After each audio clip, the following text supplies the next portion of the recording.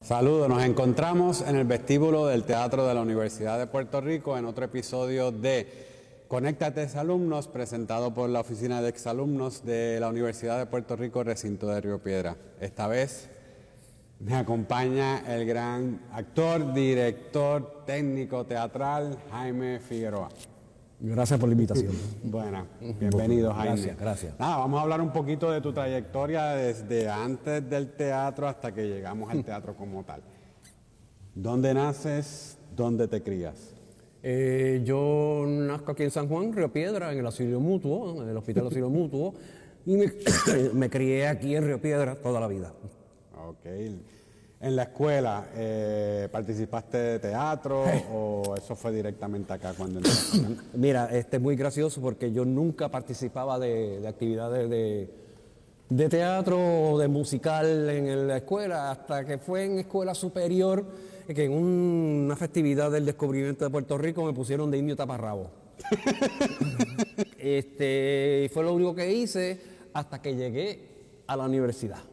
Okay. ¿En qué año llegas a la universidad? Eh, yo entré a la universidad en 1977. Yo fui parte del grupo de los 100, donde yo cogía clases avanzadas en, en, en la escuela superior y a la misma vez cogía clases aquí en la universidad. Yo lo que quería hacer era guardabosque. Ok.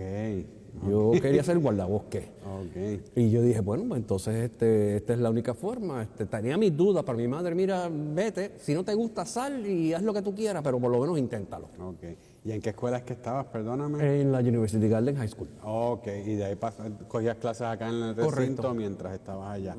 Una vez entras acá, ¿en qué concentra, ¿por qué concentración tú entras aquí a la universidad cuando tú solicitas admisión? Eh, como viene ya hecha, yo había pasado una entrevista para hacer el, el- juego este de estar cogiendo clases en los dos lados. Y yo le dije el interés que tenía y ella, pues vamos a tirarte a ti por biología para entonces desviarnos a botánica. A botánica y prepararte. Y quizás podamos, en aquel momento estaba el Instituto de, de- de Bosque Tropical allá en, este, en el Jardín Botánico. Jardín botánico. Y podemos, pues entonces también, y yo, vamos por ahí. Ok. ¿Y cómo nos vamos de biología al departamento de drama? al departamento de drama. Es que no fue de allí a acá. ¿Y de dónde fue? Eh, Yo de aquí me fui a Regional de Aguadilla a estudiar ciencias ambientales, de ciencias ambientales fui a estudiar historia, de aquí de historia fui a estudiar inglés, y entonces en un desespero, que ya yo estaba aquí en esta, la placita que hay frente al teatro, pues muy deprimido, pues yo conocí a Teófilo, yo conocía ya a Teófilo Torres, Teófilo Torres. y a Coto, no me acuerdo ahora, bien, pero eran los actores que habían estudiantes que, que- que estaban en este, activos en el teatro universitario. Y en ese momento Dinsaya estaba dirigiendo Divinas Palabras de Valle Inclán, aquí en el teatro. Y dije, vente para acá para que veas, tú sabes, y te entretengas y salgas de ese marasmo. y yo, pues fantástico, voy allí. Es la primera vez que yo me siento a ver teatro en mi vida. ¿Ok? Me siento. No me siento una cosa, no entendí la mitad. Este, pero de todos modos, en el intermedio, Teófilo dice, vete para acá para que veas lo que hay detrás del teatro. Lo que se llama el trasbastidor. Cuando yo llego allá, yo veo el revolú. Yo veo la gritería. Yo veo la, la risería. Yo veo la gente este, todavía este, con libretos. Veo la- los técnicos arriba, abajo, muévete. Y yo decía, yo me he equivocado toda la vida. Esto es lo que yo quiero. Y empecé a hacer papeleo para cambiarme. Sí, es, singular porque yo le digo a los estudiantes que si uno ve, eh, uno como público ve una cantidad de miembros del elenco, por lo general tras bastidores está el doble trabajando.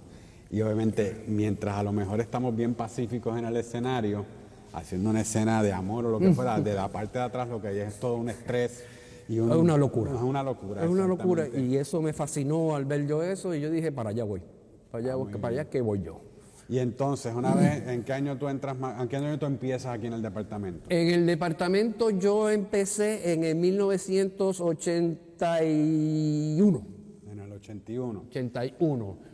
Eh, en una de las clases que se suponía que no cogiera, que era actuación 1. Ok. Se suponía que como yo estaba empezando tenía que coger pues otras clases que apreciación del teatro, este panorama del teatro puertorriqueño. Si acaso yo me metieron en actuación 1, que bueno, con Oscar Giner. Oscar Jiménez. Eh, uno de los requisitos que pedía Oscar Giner era pasar por una audición.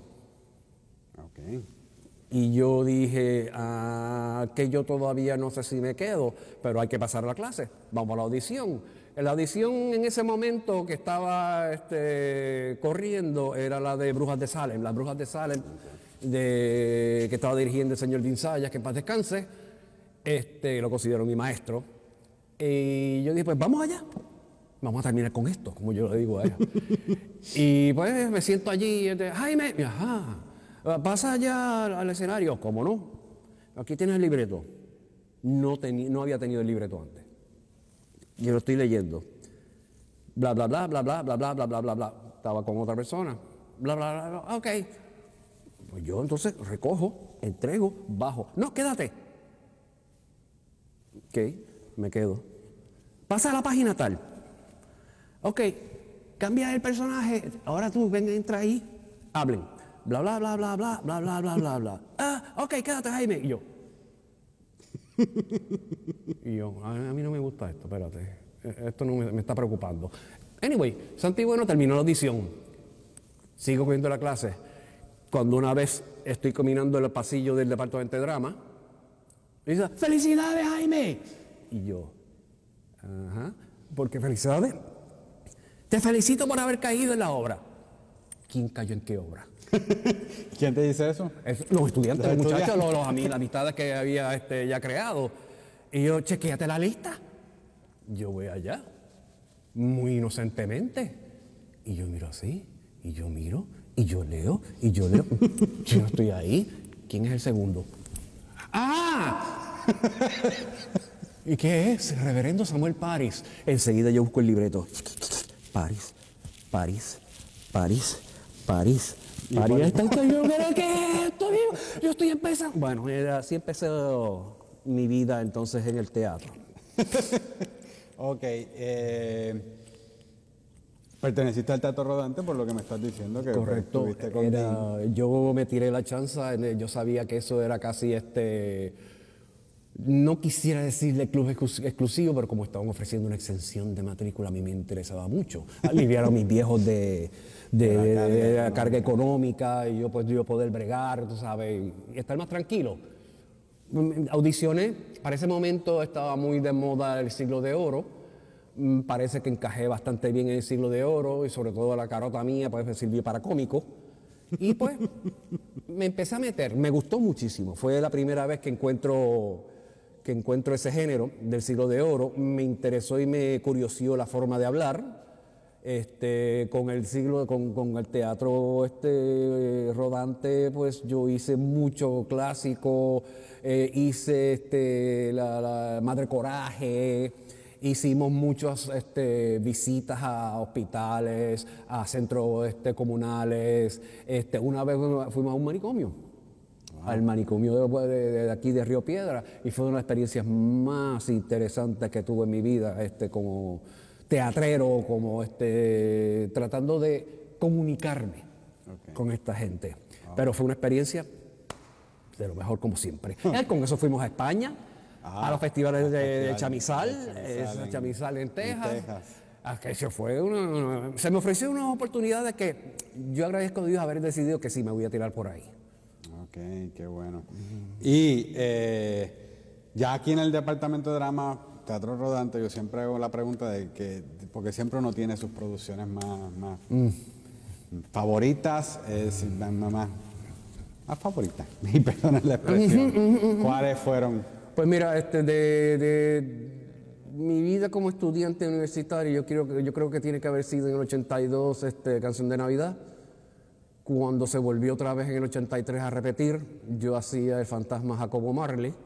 Oh, Fue una experiencia increíble, la escenografía de Checo Cueva fue increíble, el vestuario de Gloria Sáez fue increíble, el grupo que había. Sí. Per se fue una cosa increíble. Lo otro que puedo acordarme es el retrato de las maravillas y otras maravillas más de Cervantes, que era un, un conglomerado de cinco, De- de de cinco- cinco o seis este, entremeses, Entremeses. y lo ofrecían. Yo hacía tres de ellos. El más que me gustó fue el Rabelín, que me tocó en el Retablo de las Maravillas, este, el entremés en el Retablo de las Maravillas. Y fue muy, muy, muy difícil en el sentido físicamente, porque yo supone que era enano. Oh. Más de lo que soy. Más de lo que soy. Eh, pero este, yo tenía que hacer todo a cuclillas con, una, con un vestuario, un que vestuario me que cubrieran, me han seguido los pies. Y tenía que hacer todo en cuclillas. Tenía que correr, tenía que brincar, tenía que moverme, tú sabes. Y físicamente fue un reto. Wow. Eh, me estabas hablando antes de la entrevista que te- sobre una experiencia en cuestión de entrenamiento actoral para una para una parte eh, con Cuca Mercado. Eh, hubo una sesión cuando hice este, las Brujas de Salem, haciendo el personaje de Reverendo Samuel Paris, donde sí, Dinsayas miraba y me gusta cómo lo haces, pero necesito que cambies este meaning, necesito que cambies esta, esta postura, y yo como que no entiendo, entonces Cuca, Cuca Mercado, María Eugenia Mercado, María Eugenia. este, me dijo, déjamelo a mí. Y Dinsayas, ahí te lo dejo. Se fue. Cuca, mañana a las 2 de la tarde vas a venir al teatrito. ¿Puedes? Sí puedo. Vine. Ok, vamos a cogerlo desde arriba. Empieza. Esto, esto, esto, esto. No, cámbialo de esta manera. Inflexión acá. Esto, esto y esto esto. Negativo. Eso no me funciona. Vuelve a empezarlo. ¿Ok? De más está decir que estuve hasta las ocho y media de la noche, Desde las 2 de la tarde. desde las 2 de la tarde, dos y cuarto, ¿ok? hasta las 9 de la noche, y salí traumatizado. Y decía, oigan, esto no es fácil. Ser actor dice todo el mundo, ah, eso es fácil es montarte en un escenario, eh, eh, di tres, tres eh, idioteces, haz una payasada y terminaste.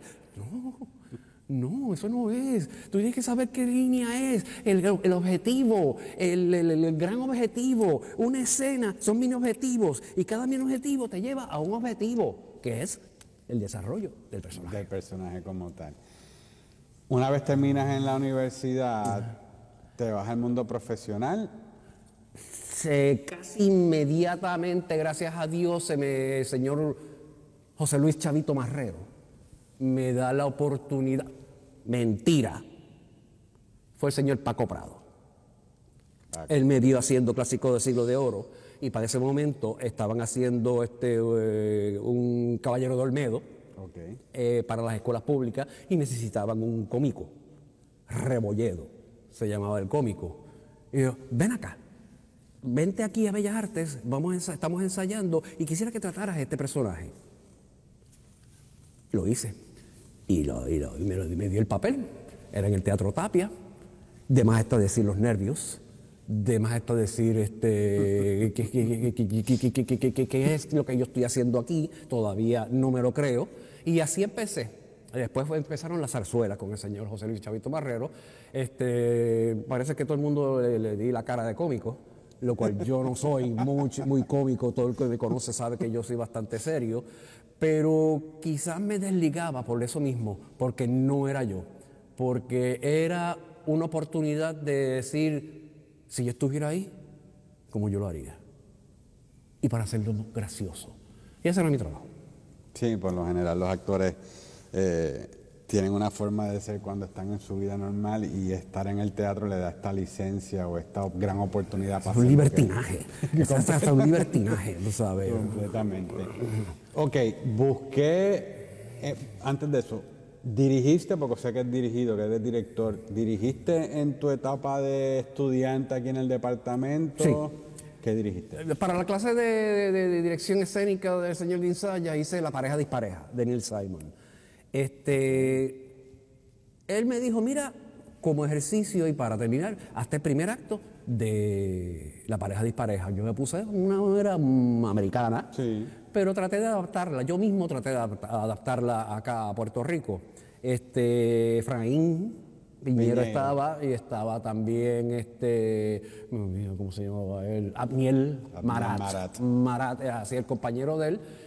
Y terminamos haciendo dos actos. Los dos completos. Y la gente se quedó esperando el tercero. Y yo dije, bueno, este fue mi ejercicio final, este, espero que le haya gustado. Después de eso hice la caja de caudales profesionalmente, la primera.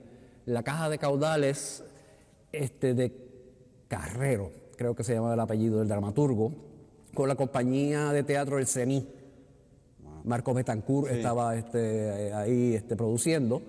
Y te atreves. Y yo, yo me atrevo a lo que sea. Muy bien. Vamos allá. ¿Ok? Se hizo muy buena crítica, gracias a Dios que en aquel momento todavía hacían críticas de teatro. No sé por qué ha desaparecido esa- ese, ese renglón. Este, y pues por ahí empecé a, entonces a descubrir nuevas áreas, porque siempre me ha dicho, tú siempre has vivido del teatro. Y yo decía, desde 1984 hasta hace un mes atrás, tengo 63 años, sí he vivido el teatro. ¿Cuál es el secreto? Diversificación. O sea, no eres actor, ah, yo solamente soy actor. O mm, simplemente yo diseño luces. O yo simplemente dirijo. No, no, no, papá. Tú quieres sobrevivir, hay que hacerlo todo. Todo. Que yo lo he hecho todo, utilería, asistente director, este regidor de escena, actor, director, técnico de luces, técnico de, de- de sonido, este, todo menos publicidad, porque no tengo ninguna idea de qué es eso. De qué- de y sería un cero a la izquierda. ¿Ok? Pero hay que hacerlo todo, si quieres sobrevivir. Si quieres vivir de este arte, sí, de- Correcto. definitivamente. Que no es glamour, el glamour es un estado de mente. ¿Ok? La cuestión es que yo me considero, como dijo una vez René Monclova, que me, me impresionó mucho la, la- aseveración que dijo, ella, mira, eh, la gente de teatro son obreros del arte. Cierto, ¿eh? ¿Sabes? Tú no eres en el glamour, tú no eres una estrella. Si tú quieres sobrevivir, tú tienes que trabajarlo. Tienes que trabajar todas las áreas. No ser quizás experto, pero sí mejorarte siempre, sí, siempre mejorarte y llegar a ser lo que puedas hacer. Cierto, cierto, es, es obrero, es, es un trabajador del arte todo el tiempo, 24/7, los 365 días al año. Es como, es como cualquier otro trabajo. Ese es el problema, que muchas veces eh, hay como artistas que obviamente, como tú dices, solamente actúan. ¿Y cuáles son las oportunidades para estar trabajando de actor todo el tiempo, los 365 días del año? Cuando se puede abrir una oportunidad para ser técnico o para ser regidor de escena o para ser asistente de dirección. O sea que por ese lado, pues, tienes toda la razón. Buscando información. esa información eh, me tiene bien preocupado. No, no te preocupes.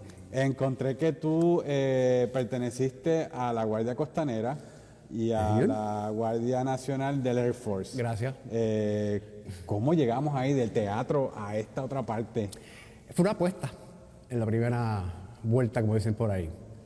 Eh, cuando yo tendría 19 años de edad, cuando yo entré en Guardacosta, la reserva, y fue porque perdí una apuesta y tuve que pagar 6 años de esa apuesta. años. No voy a decir la apuesta de qué era. Ok, este, cuando llegué a la oficina del reclutador del guardacosta, me mira a mí y antes de yo decir cualquier palabra, me hace dos preguntas, tres preguntas, perdón. ¿Tú hablas inglés? Sí. ¿Tú nadas? Sí. ¿Puedes rebajar 20 libras en un mes? yo voy, yo podría tratar, entra ahora. ¿Ok? Cuando cojo el examen para entrar, que es el ASVAB, Sí. que lo, lo dieron allí, pues éramos cerca de 20 personas en el salón. Ok, se acabó el tiempo. Ok, se acabó el tiempo. 15 minutos después, todo el mundo se queda aquí. Entonces, 15 minutos después, llega el sargento, petty officer, que es, el- que es diferente el rango. ok. Este, todo el mundo, menos Figueroa y Cortés, salga del salón, muchas gracias por todo. Y yo dije, me colgué. Y Cortés y yo nos miramos. Ay, virgen, pues, fue una experiencia, sí, fue una experiencia. ¿ok? Eh, volvió el petty officer, este, ustedes fueron los únicos dos que pasaron el examen. Y yo dije, ay, esto me suena mal. Bueno, ahí empezó mi aventura este, en el guardacosta, donde me dio ciertas experiencias en la milicia. Yo agradezco al teatro, que en ese momento no lo conocía per se, Pero la conjunción de los dos, la milicia con el teatro, son afines en el sentido que uno no sirve a la cuestiones de guerra o una cuestión este, elitista o lo que sea, pero sí este, me enseñó la milicia la organización, la disciplina, el tesón y enfocado. Cuando yo llego al teatro, con la experiencia, primera experiencia que fue el la Costa, no es que se me hizo más fácil, pero lo pude aguantar mejor, pude amoldarme mejor, porque ya yo venía con el bagaje este que ensayo, ensayo, ensayo, función. Si no puedes hacer eso, no te metas. Este, puedes hacerlo o no puedes hacerlo. ¿Qué forma puedes hacerlo para mejorar eso? Tienes un obstáculo, o lo brincas, o le das vueltas, o haces un hueco y sales por el otro lado, pero tienes que hacerlo. Búscala. Está ahí. Tú eres un ser humano. Tú Esas son palabras de Isaya. Tú eres un ser humano. ¿ok? Tú has tenido problemas antes. Estás aquí. Entonces tú los pasaste. Tú pasaste estos problemas. Buscaste la forma. Es lo mismo. Trátalo. Y, este, en el camino, sé creativo. y yo, ok, lo que usted diga, jefe. Y así fue, moldando. Eh, o sea, tú terminaste lo de lo de la, lo de la Guardia Costanera antes de estar aquí en el antes de estar aquí o estaba mientras estuve, mientras estuve, mientras estuve, este, yo entro cuando yo tuve, tendría 21 años de edad, después de dos años de haber entrado en la reserva, pues este, tuve problemas en producciones porque hay que hacer drills, hay que hacer este, ejercicios militares y este, algunos confligían con función. Entonces yo tenía que necesito saber cuándo son las funciones. Pues tal día tal día. No puedo hacerlo, ni empezar ensayo puedo. Porque tal día tengo. Sí, tiene. Tengo drill. tengo drill. Había, sí, había días que sí podía. Este, no comprendían, una vez yo tuve que venir aquí de emergencia en uniforme.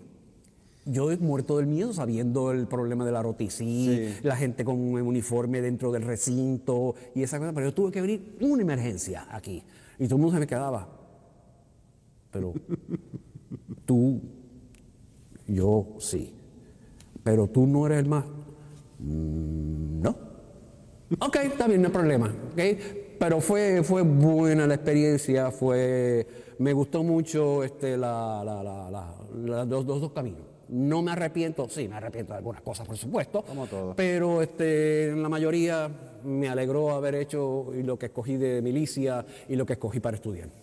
Y lo del Air Force, ¿eso viene después? Eso viene después. Yo me dijeron en el 1979, más años, en el 85, dos meses antes de yo cumplir los seis años, yo, bueno, vas a firmar otra vez. Y yo, ¿sabes qué? Estoy cansado del agua. Porque hubo un momento en que cuando salí de básico, todo el mundo tiene que servir seis meses en agua. No importa si eres activo o reserva, tienes que hacerme seis meses en agua, en un barco. Y yo dije, oh, ¿qué quieres hacer? ¿Lo vas a hacer después o lo quieres matar ahora? Yo, vamos a matarlo ahora. Vamos a matar eso ahora. Este, muy bien, vete, vete a Miami, espera ahí las órdenes. Al otro día llegaron las órdenes para irme a California en California, a Petaluma, California, este, vas a buscar el, el barco este, Estrella Norte, North eh, digo, el Mar del Norte. Fantástico, voy allá, me reporto. Cuando yo veo el barco.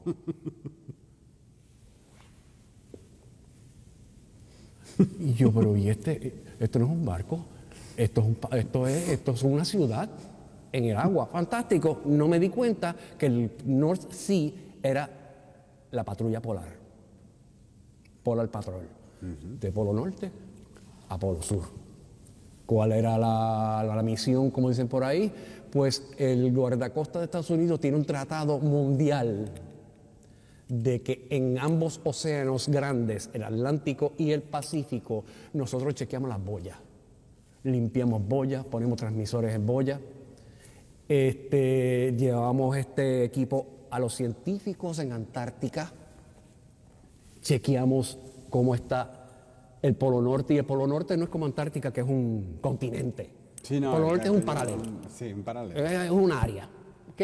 Todo bien. Y entonces este, la, ruta era este, California, hasta Kodiak, Alaska, de Kodiak, Alaska al famoso este paralelo de Polo Norte, bajamos a Kodiak, Alaska, hasta Valparaíso, Chile, y de Valparaíso, Chile, Antártica.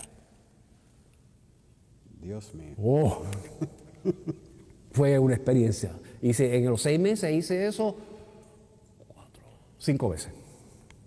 Cinco veces fue. Hay veces que me tocaba el Liberty, o sea, ¿tienes tiempo libre? Sí, pero estoy en medio del Pacífico y no hemos llegado a ningún lado. Ah, pues tienen dos días. ¿Dos días de estar dándole vuelta a qué? ¿A un barco? que si hubiera que si hubiera un show aquí, que si hubiera una barrita allá, no, no, no, no, no, no hay nada. Y llegábamos, y cuando llegábamos a tierra, no, no te toca libertad, o sea, no tienes tiempo libre.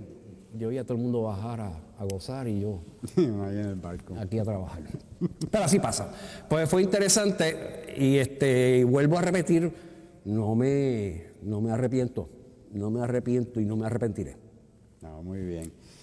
Yo tengo no me digas que averiguaste otra cosa. No, no, no, no, esto es personal. Ah. Yo vi, yo regreso de hacer maestría eh, y empiezo, estoy haciendo una producción en Bellas Artes. Estoy de regidor de escena de una producción, no me acuerdo cuál. Eso fue como para el 2000 más o menos. Mm. Yo estoy caminando, obviamente te conocía de Hola, ¿cómo estás? Yo estoy caminando por los pasillos, se está haciendo una producción en, en la sala de festivales. El productor está preguntándole, a alguien de esa producción, que no era la mía, no era la que yo estaba trabajando, yo estaba pasando por allí. Dice, el, equipo de sonido aquí, eh, ¿qué es lo que tiene? Y me acuerdo que a la persona que le hicieron la pregunta, simple y sencillamente hizo así y te señaló a ti. Y tú empezaste a soltar esta lista de equipos. y yo me quedé como que, ¿cómo este hombre puede tener en la memoria todo, todo el mínimo equipo e instrumento que hay de sonido en una sala de festivales. Y, te lo digo porque tu capacidad como técnico en conocer todo el equipo, el andamiaje como tal, eh, siempre lo he visto como de admiración. Gracias. Eh, no, honestamente, y aquí en, el teatro, que hablaremos un poquito más adelante sobre su, trayectoria por aquí, por el teatro de la universidad. Eh, ¿Cómo llegué ahí? No, es que en realidad lo que quiero decirte es una alabanza. Ay, muchas gracias. Porque en realidad tú ves como, como aquí en el mismo teatro, tú ves como que este hombre sabe dónde está la mínima cosa en la a ti yo te pregunto algo, tú dices, está en la esquina, ahí detrás de tal cosa, entre las pesas y esto, y ahí estaba. Eh, y eso pues de verdad... Eh, eh, como los plomeros aquí una vez venían a preguntarme a mí, ¿dónde estaban las llaves de paso? Y yo, ¿cómo que? Pero tú no eres el plomero. Sí, bueno, pero yo tengo un baño que está roto, que es el de baño de damas aquí en el vestíbulo, y está botando agua y necesito tumbarla. Y yo, pues vete y túmbala. Es que yo no sé dónde es. Y yo, tú no me digas que yo iba a tener que subir. Subo, ¿ok? Abro la puerta, ven conmigo, abro la otra puerta. Tú ves eso, si es un cubo, saca el cubo. Tú ves esa palanca que está ahí, tú sabes. Si está para arriba, está cerrada. Si está con el, con el tubo, está abierta. Por lo tanto, tú levántala. Tú no sabías eso, tú no, le, tú no tenías el, ¿cómo se llama? El plano. El plano de Es que yo llegué, tú sabes, no hace mucho, tú sabes. Y yo. Eh, la cuestión es, ya que estamos en eso, cuando yo llegué al teatro de la Universidad de Puerto Rico en calidad de, no de director técnico, con ese, porque en ese momento me trae el señor David Marcaro, que paz descanse, que era el director técnico, él necesitaba una ayuda, una mano. Por lo tanto, se me da entonces un administrador de planta física. Y yo le dije, yo no tengo la menor idea de lo que es ser director de planta física. Y yo, tienes que conocer el teatro, tienes que saber coordinar los servicios, tienes que saber el mínimo detalle de físico de este teatro. Pues me di la tarea. Y parece que lo cogí serio. Sí, no, obviamente que sí. Este, y yo dije, yo no me voy de aquí hasta que yo conozca la última pulgada de este teatro. Me tardé, pero lo hice. Creo que lo hice. Sí, no lo hiciste. Cuando muere el señor David Marcano, este, Edgar García era director ejecutivo en ese momento. Me dijo, Jaime, tú puedes hacer las dos cosas. yo, ¿qué dos cosas?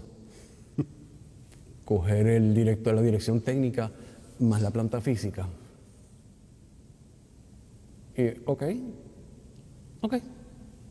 Yo no sabía lo que me estaba. Ya entonces se complica la cosa, ya entonces tendría, ya estaba a cargo del edificio físico más lo que pasara en el escenario, más house manager. Tiene que hacer house management, bregar con el público, bregar con taquilla, este, bregar con los plomeros, con los electricistas, bregar con actores, repartir limpieza, este, coordinar este, servicios, este, limpieza, seguridad, ujieres y una cosa más y me pongo a gritar. me voy a gritar. ¿Okay? Lo he mantenido, lo hice a mucha honra. Este, es uno de mis grandes logros en la vida. Y además de pagar este, mi deuda. Ya hay una lágrima, espérate. Tranquilo, tranquilo. No, no, no, me imagino que debe ser muy fuerte. Obviamente tú como exalumno eh, debe ser de lo más interesante uno después de terminar como exalumno venir a trabajar en el mismo sitio que me vio crecer. que te vio crecer. Correcto. Eh, Ese era para mí mi mayor motor. Era, yo tengo que pagar una deuda imaginaria porque todo el mundo que se graduó de la universidad, así, alma mater, yo fui estudiante ahí, sí, pero eso pasó, estoy en otra cosa. Estoy en otra cosa. Yo siempre me quedé con el alma mater, yo siempre me quedé con que esta fue mi casa. Y más, no, no tan siquiera la Universidad de Puerto Rico aquí en Río Piedras, sino el teatro. Y, esta, y este edificio donde me vio crecer y vio crecer el amor que yo le tuve al teatro. Yo me soltó. Cuando vuelvo y me encuentro, de las primeras tardes, no había nadie, se había ido todo el mundo, yo me quedé a cerrar el teatro, yo me siento en la sala. Yo dije, yo no pensé nunca en mi vida que iba a volver aquí. Más en el rol que estoy haciendo ahora mismo, pero yo voy a tratar de hacerlo mejor. Hasta hace mes. Y los ha hecho, los ha hecho grandemente. eh, Mira, Jaime, eh, muchas veces el trabajo de la gente que trabaja, valga la redundancia, tras bastidores, aunque es titánica, como la gente no lo ve, no muchas veces no, sabe, no es que no lo sepa apreciar, es que no sabe, punto, que esa gente existe. Eh, y tú tener el respeto que tanto las instancias universitarias como el departamento de drama, como los artistas que han pasado por, ti, por aquí, tengan el respeto hacia tu persona. Significa mucho.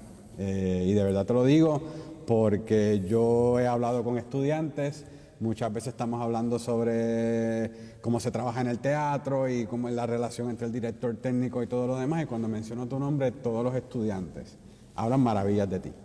no, de verdad, honestamente, ¿sabes? No... Eh, estás allí, siempre estás afuera, pero cuando yo hablo de, Jaime, mucha gente, la gente, muchas veces la gente no conoce tu nombre. Y cuando le digo, es el que tiene barba, me dice, ah, sí, olvídate, con ese hombre es con el hombre que hay que hablar y de verdad siempre han sido palabras muy positivas sobre tu trabajo. O sea que por ese lado, de verdad, eh, yo como director del departamento de drama como fui y antes de eso fui coordinador de producción, eh, para mí siempre fue un orgullo tenerte como, como amigo sabía que podía contar contigo para lo que fuera. Siempre estuviste ahí disponible para el departamento de drama y para las producciones. Y por ese lado, pues de verdad te quiero agradecer eh, y que todos los reconocimientos que te han dado, aún en el momento cuando te fuiste a retirar, que hasta el rector de la universidad vino aquí a, despedirte, eh, significa mucho. Eh, eso muchas veces es un honor que se, pues, se recuerda para los profesores o gente que ha estado, como te digo, más frente al público. Y tú tener ese reconocimiento estando o perteneciendo fuera del público, en, en bastidores, significa muchísimo. O que por ese lado, de verdad, gracias, gracias y gracias. Un honor. Ha sido un honor para mí conocerte ha sido un honor para la universidad contar contigo, tanto como, como, como técnico, como trabajador, como exalumno y como alumno perpetuo que vas a hacer de la Universidad de Puerto Rico, porque todos los que pasamos por aquí somos exalumnos. Hasta el día, hasta, el día, el día que se acabe todo. O sea que, pues, gracias. Eh, un placer. A ti, gracias y siempre fue un placer. gracias, gracias. Bueno, hasta aquí terminamos eh, esta entrevista con el profesor para mí, Jaime Figueroa.